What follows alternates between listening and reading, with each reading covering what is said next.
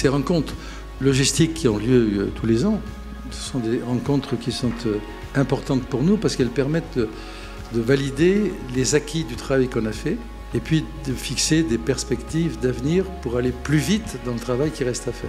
Le rôle de la métropole, c'est de créer euh, cette ambiance, cet écosystème nouveau et que la réglementation puisse s'appliquer à faire que la vie de cet écosystème de la logistique urbaine eh bien, soit le plus vertueux possible. La logistique, c'est forcément un esprit solidaire ensemble. Si on veut arriver à des chaînes logistiques euh, efficaces, il faut absolument que toutes les communes euh, s'y mettent. Chaque décision prise dans un lieu a un impact pour tout le monde. Le but, c'est de donner à chacun sa place, son bon moment.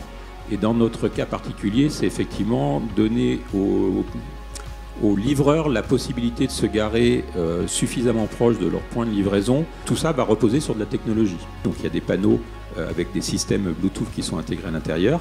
Utiliser au mieux l'espace public. Et on sait très bien que l'espace public est, contraint et n'est jamais suffisant. L'idée de Corsali, c'est de réintégrer la fonction logistique ou les fonctions productives en centre-ville. Je vais vous présenter euh, une opération concrète euh, qui vise à poser sur le territoire de la métropole, porte de Bagnolet, un bâtiment euh, qui est complètement dédié à la distribution des marchandises.